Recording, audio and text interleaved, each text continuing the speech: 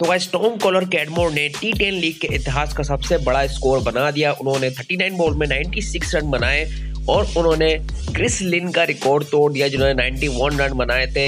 लेकिन कैडमोर ने बना दिए हैं 96 रन और ताबड़तोड़ पारी खेल के उन्होंने अपनी टीम को यहाँ पर जीत दिला दी। टॉम कॉलर कैडमोर जो है, वो एक बहुत ही बेहतरीन खिलाड़ी हैं और आईपीएल में उनके चुने जाने के जो आसार हैं, वो भी थोड़ी बढ़ जाते हैं इस इनिंग के बाद।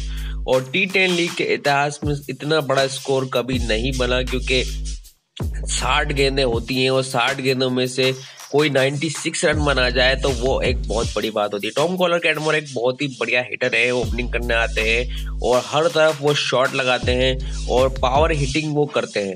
वो ऐसा नहीं है कि वो एक ही तरफ़ शॉट लगाए, वो हर तरफ़ शॉट लगाते हैं, लेकिन विकेट के पीछे वो इतने शॉट नहीं खेलते। तो गाइस चैनल को सब्सक्राइब करना मत भूलना, क्योंकि मैं ऐसी शानदार वीडियो न्यूज़ एंड अपडेट्स अपनी लाता मिलता है अगली वीडियो मुझे बहुत जल्द आपको इसी चैनल पर देखने को मिलेगी।